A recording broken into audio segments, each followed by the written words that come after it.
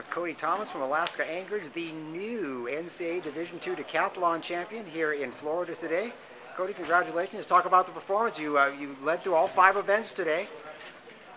Uh, it was, yeah, it was good. I had the lead from yesterday, so I did work on the first day. And basically, the game was to compete and stay near the top in every event. And managed to do that. So if I can beat people in individual events, it's gonna be hard to beat me overall. So that was kind of the mindset, just to straight up compete.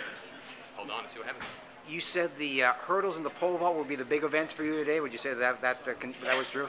Yeah, hurdles was a good start. I didn't give up too much of that lead early on, and then pole vault was basically try and hang on to as much as I could. It was it's a big point, big point event. Basically, it's 30 30-ish points the bar, and as soon as you start getting a couple of bars ahead of someone, it's almost six seconds in a in a 1500 you don't have to run you have to run. So basically, just hung in there and competed did well. Now the 1500, you just had just a 10-point lead heading into that. Were you were you worried about that at all? What was your mindset heading into that 15? Basically, just just compete.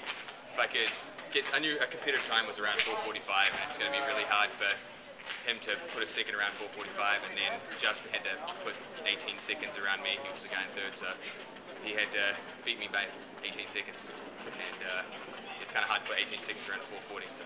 Right you said you were more of a day one guy, but here on day two, a couple of school records, a couple of season bests. Uh, would you say this was your best day two that you've had over the years? Yeah, I finally put a day two together. Vault was pretty pretty clutch for me, so it was a it was like I said, we were one of the events we were kind of targeting, and it would have been a pivotal one. So no, it was great. It was a good performance, really.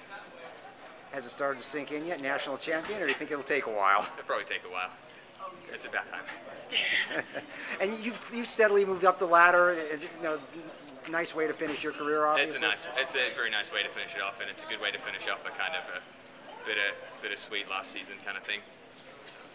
Where to from here? What's next for Cody Thomas? Grad school, keep competing, and uh, get better at track. Something I love to do. So, yeah.